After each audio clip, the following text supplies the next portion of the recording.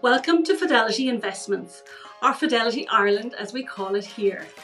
We're one of Ireland's leading fintech organisations with over 1,400 employees who work across technology, operations and corporate services.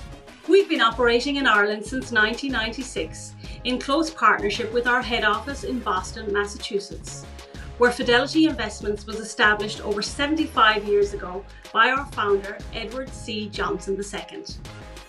We're privately owned, led by Chairman and CEO Abby Johnson, Edward's granddaughter. This allows us to focus on innovation and support our millions of customers in the US and our more than 47,000 associates worldwide. We're passionate about community values and giving back. At Fidelity, we have a genuine commitment to social responsibility empowering our employees to have a long term positive impact in the communities where we live and work.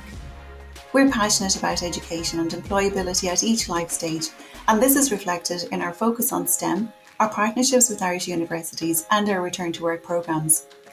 During my time at Fidelity, I've had the opportunity to take part in several community initiatives that support education and STEM programmes, and more recently, raising funds for the vulnerable during COVID 19 and donating hardware to local schools. Whether through educational programmes, volunteer hours, or support to local causes, we're committed to our communities beyond just the work we do. We're looking to make a real impact. We champion diversity and inclusion both within our organisation and across the industry. We know that a diverse and inclusive workforce is key to creating a relevant and differentiated customer experience. Building a connected and collaborative workforce that reflects broader society will help us and our customers. We're making some real progress, but we're committed to doing more.